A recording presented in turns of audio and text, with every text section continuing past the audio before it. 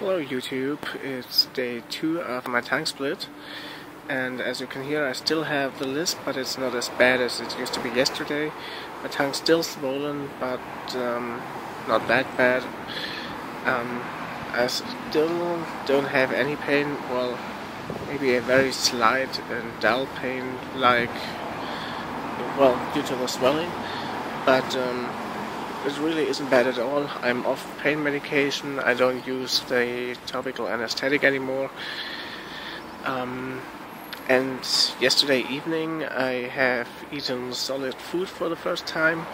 And today, remember it's day two after splitting my tongue, I'm eating perfectly normal again and it doesn't hurt at all.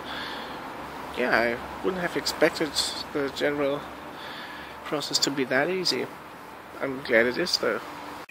Now this is what my tongue looks like 36 hours after being split.